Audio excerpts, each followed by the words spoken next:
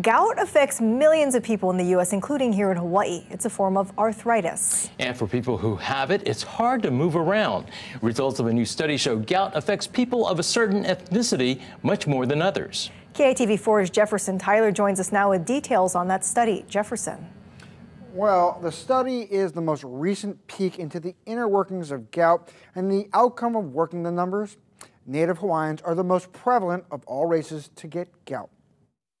If it stays untreated for a certain amount of time, it will it will begin to deform the joint and uh, cause possibly disability. Gout is no joke. Estimates are that tens of thousands have it in Hawaii already, and while it's not fatal, it's linked to other issues like heart disease. And if it gets bad enough, moving around becomes painful. When you break down certain kinds of food, they, they will begin to produce uric acid. And when levels of this get a little bit too high, it will start to form crystals that will deposit on your joints. A recent study says that older Native Hawaiians have almost twice the chance of developing gout as Caucasians, with blacks having 30% higher risk and Japanese having a 14% greater risk. These numbers come out of a previous multi ethnic cohort cancer study of 1999 to 2016. 92,000 of those test subjects had gout, and genetic genetics is one of the possible reasons for the difference among native Hawaiians. There's a genetic component that is that is passed down within this group.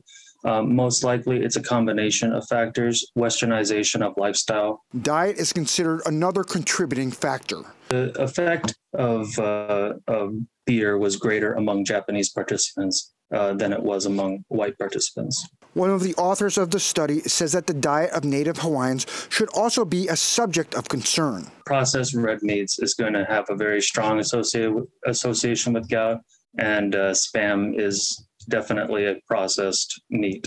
Certain types of fish are also considered contributors. So, what are some of the recommended dietary changes besides what we've mentioned? Reducing alcohol use is uh, very important to preventing gout. Um, eating a better diet overall, um, high vegetables, higher levels of fruits, now, gout usually starts in lower joints, such as your foot or ankle, but it can also crop up in your hands or elbow, so you might want to see a doctor if you start getting shooting pains in those extremities. Jefferson Tyler, KITV4 Island News.